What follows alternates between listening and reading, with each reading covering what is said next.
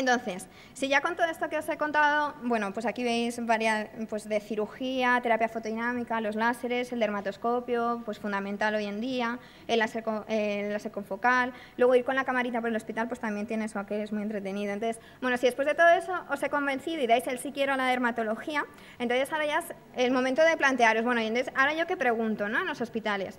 Pues tenéis que saber que en estos cuatro años vais a tener que ir adquiriendo una serie de conocimientos los cuales van a depender del volumen de pacientes que veáis, pero yo creo que el punto medio es la virtud. ¿no? Entonces, tan malo es estar hasta arriba de pacientes que no te da tiempo ni a pensar ni a pedirle las pruebas ni nada, como tener poquitos pacientes, porque la dermatología es muy visual y no vas a saber diagnosticar lo que no has visto o te va a ser muy difícil. Entonces, el volumen de pacientes es importante. También el número de residentes, ¿no? porque si hay muchos residentes, pues a lo mejor no operas todo lo que te gustaría o ves menos pacientes, te encargas tú de menos pacientes, entonces eso es importante tenerlo en cuenta. Preguntas también cuánto de docentes son la gente que hay por ahí, porque es importante que te expliquen o que te animen a estudiar, entonces esto yo también lo preguntaría. Eh, ¿Qué más? Pues a lo mejor a la hora de, sesiones también tenéis que preguntar si en vuestros servicios dan sesiones monográficas, si os eh, invitan a que las hagáis a que publiquéis estas cosas. Luego, de habilidades, tenéis que preguntar con qué recursos cuenta el hospital, qué técnicas llevan a cabo. Pues a lo mejor es importante, yo creo que hoy en día la cirugía de MOS es importante que la tenga, el láser, que no todos los hospitales la tienen, eso también es bastante importante. ¿Qué grado de cirugía, hasta qué, dónde se meten en la cirugía? ¿no? Eso también, preguntadlo.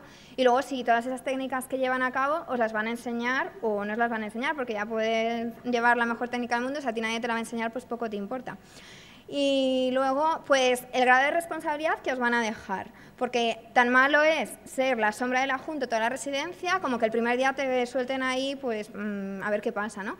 Eso lo preguntáis, pues si os dejan pasar consultas de R3 o de R4, que en el Ramón Cajal, por ejemplo, tienes tus propios pacientes de R3 y de R4, y al principio te estresa, pero luego te espabila muchísimo.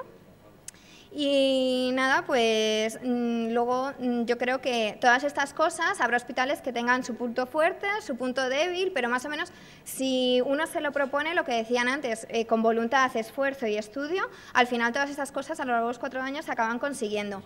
Pero hay una cosa que uno, por mucho que se proponga, si el hospital no la tiene, no la va a conseguir y para mí es una de las fundamentales y es el buen ambiente. Entonces por eso recomiendo que vayáis hospital por hospital para ver qué sensaciones os transmite, qué residentes hay, hablad con los pequeños, con los resis mayores, que a veces están más quemados, y a ver qué feeling nos transmite, porque a lo mejor encajáis en un hospital, otros encajan en el contrario, y bueno, pues es interesante saberlo, ¿no?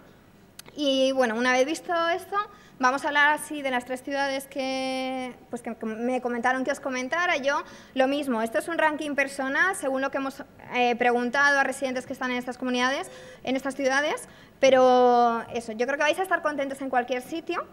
Entonces esto es solo pues, orientativo. ¿no? En Madrid el año pasado se acabó en el 688. Entonces, el primer hospital, y no es porque esté yo en él, yo creo que es el Ramón y Cajal. ¿Y por qué? Pues es, yo diría que es porque es muy equilibrado, Tienes desde parte clínica un montón, parte quirúrgica, está el doctor Luis Ríos que opera muchísimo, em, vamos, como el mejor plástico del mundo, además te enseña muchísimo. Tienes la parte de la estética, pues el láser, han abierto la unidad de maquillaje para las personas que tienen defectos faciales enseñarles a maquillaje, a maquillarse, tienen consultas, que ahora además están innovando, pues están haciendo unidad de pediatría, unidad de colagenopatía. Entonces, fallo que yo veo al Ramón y Cajal, pues que no tiene pediatría, pero sin embargo de R4 se rota en, el Niño Jesús de pediatría, o sea que eso más o menos se, pues se acaba compensando, que para mi gusto a veces es un poco autodidacta.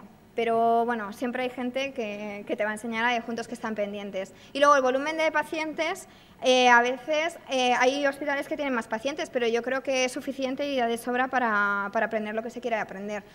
Luego, aparte de R3 o de R4, hay una rotación a Tanzania, que es así interesante pues, para operar sobre todo albinos que hacen cánceres cutáneos y no te ponen problemas para rotaciones externas. El ambiente, y no es porque lo diga yo, de verdad que el ambiente por ahora estamos todos encantados, que ya os digo que eso es fundamental. En segundo lugar, pondría la paz. La paz También, pues el volumen de pacientes muy grande. Eh, la parte clínica, pues muy docente, tienen la unidad de dermatoscopia súper potente. Quizá respecto al Ramón se queda un poco corto en láser y en cirugía, pero tiene la ventaja de tener niños y de que son dos residentes. Nosotros en el Ramón somos tres. Las guardias en el Ramón y en La Paz se hacen de 24 horas. Luego, en tercer lugar, pondría el Gregorio Marañón. Aquí las guardias son solo hasta las 10 de la tarde, eh, de la noche. Y bueno, también lo mismo, son muy quirúrgicos, también tienen la parte clínica, la gente está encantada, entran dos residentes por año y pues también es una muy buena opción.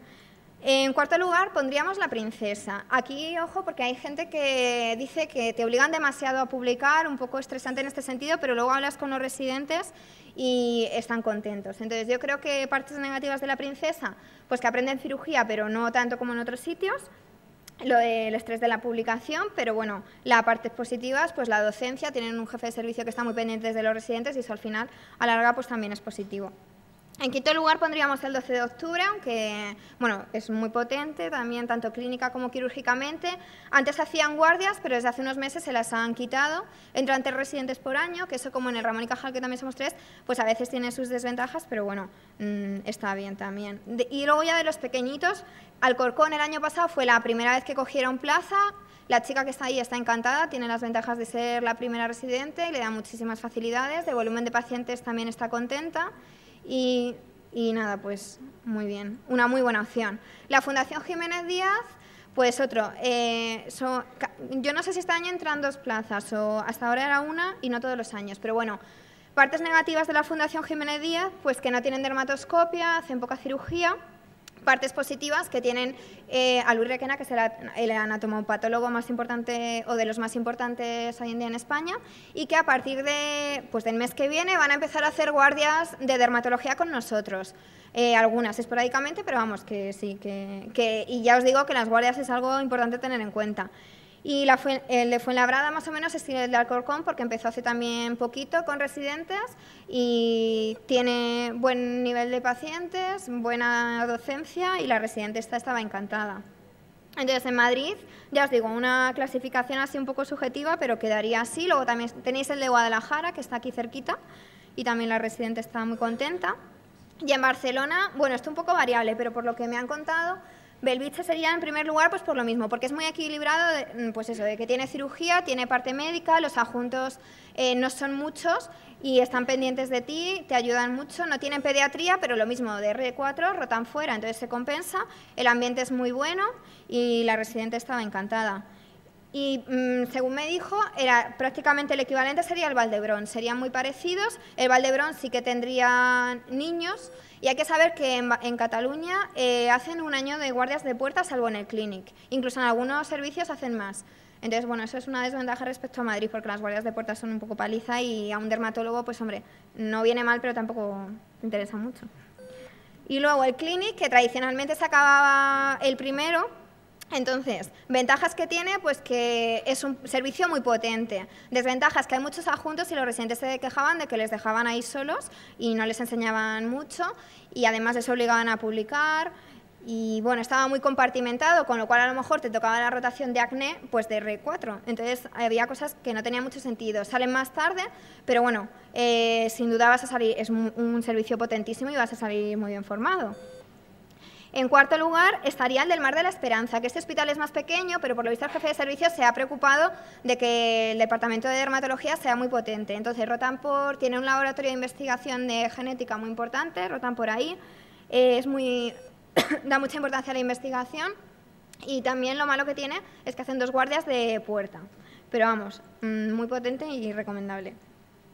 El de San Pau es más pequeñito, y bueno, también eh, suficiente para aprender, pero bueno, quedaría en quinto lugar pues por eso, porque es más pequeño, igual que el San Germans, que, que, se llama Canruti, le conocen como Canruti. Por lo visto aquí en San Germans el ambiente era peor, además hacen tres, tres, años de guardias de puerta, de mayores tienen que supervisar, estaban bastante quemados y hombre, es una opción, si te gusta la dermatología, pues claro, lo puedes coger, pero bueno, estarían antes los, los otros. Y el último ya en Cataluña sería el Sagrat Corazón, que allí en Cataluña este sería el más estético, porque ahí en Cataluña, la verdad, según nos contaban los residentes, igual que así en Madrid sí que nos, nos enseñan la, parte estética, ahí en Cataluña no, durante la residencia no se le da mucha importancia y en este parece ser que es el que más visiones tiene. Y luego, bueno, la lista, ¿no? Y luego ya para terminar, en Sevilla, pues lo mismo, en Sevilla tradicionalmente el de la Macarena era el primero que se acababa, ¿no? Pero eh, en los últimos años esto está cambiando. ¿Y por qué? Pues antiguamente el presidente de la Academia de Dermatología era de la Macarena, ahora es del Rocío. Y quieras que no tener al presidente de Dermatología en tu hospital, pues eso te ayuda un montón. Por lo visto en el de la Macarena está todo como muy jerarquizado y ahí a un residente no se le ocurre hablar a un adjunto de tú a tú. Sin embargo, en el Rocío todo es como mucho más amigable. No pasa nada si un día tienes que faltar a una sesión. Eh, además, en el Rocío van a empezar a hacer guardias hasta las 8 de la tarde cosa que en la Macarena por lo visto tienen bastantes problemas. Luego la parte de cirugía, tradicionalmente la Macarena hacía más cirugía, pero eh, son también más residentes. Entonces tocaban a menos cirugía y además no tienen cirugía de MOS. Y en el Rocío sí que tienen cirugía de MOS. Y el, Rocío además tiene niños, cosa que la Macarena no tiene. Entonces, bueno, yo, eso, de Sevilla, mejor el Rocío, pero vamos, que las dos opciones son buenas. Y ya está. Que mucha suerte en vuestra elección, que no es fácil, pero bueno, luego estaréis contentos.